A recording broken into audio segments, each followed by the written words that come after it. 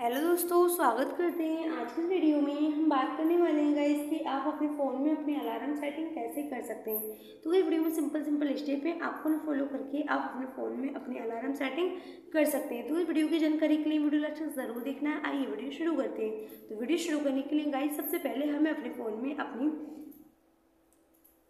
Application है clock तो आपको क्लॉक पे क्लिक करना होगा। क्लिक करने के बाद यहाँ पर आपको इस तरीके का इंटरफेस देखने को मिल है तो यहाँ पर आपको प्लेस के ऑप्शन पे क्लिक करना होगा। क्लिक करने के बाद गाइस आप अपने फ़ोन में अपने नौ बजे का अलार्म लगाना चाहते हैं तो नौ पे क्लिक करेंगे और यहाँ से आपको अपने मिनट सेट कर देना कितने मिनट का लगाना नौ पाँच का लगाना है या नौ पे लगाना पूरा। तो इस तरीके से इस पर क्लिक करके आपको राइट क्लिक कर देना तो गाइस आपका जो अलार्म है, वो नौ बजे का लग चुका है। अगर गाइस आपको अपना दूसरा अलार्म लगाना तो आप कैसे लगाएँगे? तो यहाँ पर आपको फिर से प्लस का ऑप्शन पे क्लिक करना होगा, अब आप अपने फ़ोन में अपना चाहते हैं आठ बजे का लगाना यानी कि साढ़े आठ का लगाना चाहते हैं तो साढ़े आठ पे क्लिक कर देंगे, आठ तीस पे, इस तरीके से और यहाँ पर आपको राइट क्लिक कर देना। तो गाइस इस तरीके से आप अपने फ़ोन में अपना अलार्म सेटिंग कर सकते हैं। तो गाइस वीडियो पसंद आई हो तो शेयर करें लाइक करें, चैनल पर नए हो तो चैनल को सब्सक्राइब करें। मिलते हैं अगले नेक्स्ट वीडियो में, तब तक के लिए bye bye and take care